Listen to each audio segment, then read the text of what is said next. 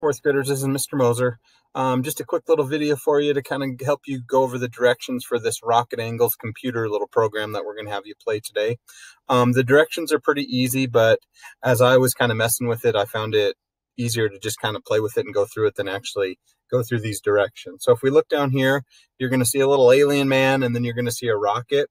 And the goal of the game is to find the angle between the rocket and the alien. And you want to measure the angle within one degree. So you can be like one degree off. So if the correct answer was 50 degrees and you said 51 degrees, that would still count as correct. And then there are 10 different aliens to find. So just kind of go through, practice using a protractor and practice getting that angle measure. So the directions are all here on that first page, but I'm going to click the arrow and we're going to go through a couple of examples together.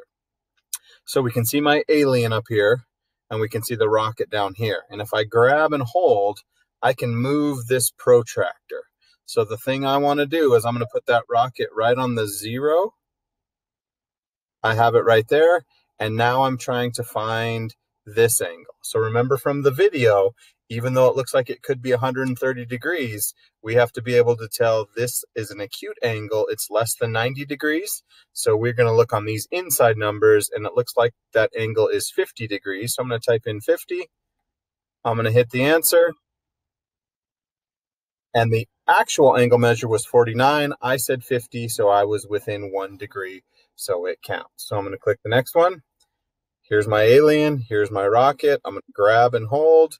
I'm going to turn the protractor. I'm going to start my rocket on zero.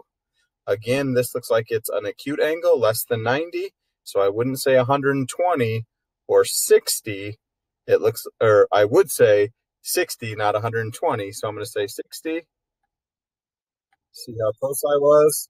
Oh, and it looks like I missed that one. The actual angle was 58 and I said 60, so I was two off. We better try one more. Here's my alien here. Here's my rocket. So I'm going to turn my protractor. I'm going to put it on zero. Again, it looks less. Oh, it's going to give me another chance. I see 60. I'm going to try 60 again. And that one I was right on. Actual angle was 60. I said 60, so I was correct. So just a quick little video that kind of helps you go over those directions, go through all 10, practice using that protractor to measure the angles, and have a little bit of fun. Talk to you later.